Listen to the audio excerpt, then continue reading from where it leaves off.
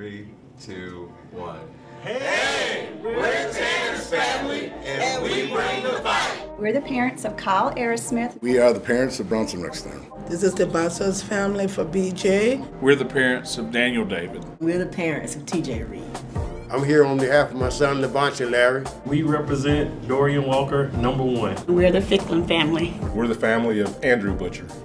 Our first um, interaction was with Coach Worley and Coach, Coach Chestnut, and they were amazing. They pursued Kyle um, many, many lunches and get-togethers with them, and they finally convinced us to come for a visit, and it was amazing. Kennesaw State seemed like a great option. It was close to home and uh, up-and-coming program, and obviously a winning program. And uh, we came to visit, and uh, we were sold.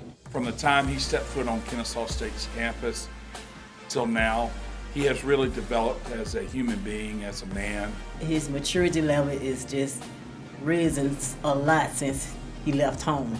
His work ethic. He works so hard 24 7.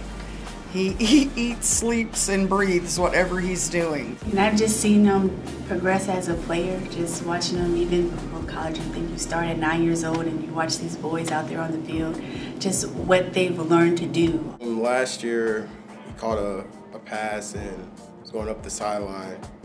And you thought he was going to go out of bounds or get tackled, and he spins, breaks those tackles, and takes off. I think it was his first touchdown. And it was like, Oh, there, there he goes. there he starts. Yeah, he laid that wood on that man. Oh, buddy. it, was, it was about a couple of weeks ago, a couple of three weeks ago, and it was a kickoff return, and he came down and just buried the returner. He waterboarded. And- Oh yeah, Yeah. it was pretty ridiculous. When he didn't do well, I would say, oh, then you're not playing football the next game. And the next time, BJ will bring me all A's and B's.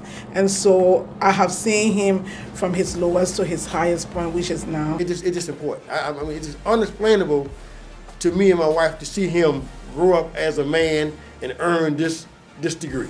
Uh, I just want to say, uh, hold on. I think the best thing is for me to see you mature as a young man. I'm proud of you, son, and I do love you. I'm so proud of the young man you have become, and congratulations, and I love you. I'm just ready and excited to see the next chapter in his life. We love you, and we ask for God's blessings upon you as you move forward. Take the lessons that you've learned from football, apply them to your life, and we know you'll be successful. Life is more than just um, today's wins and losses. It's about developing into a leader. It's about it's about influence positively influencing people.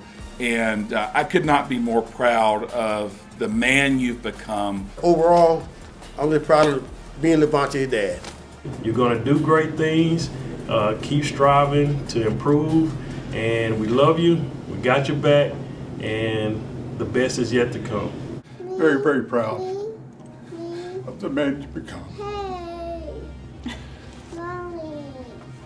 We love you and God bless you.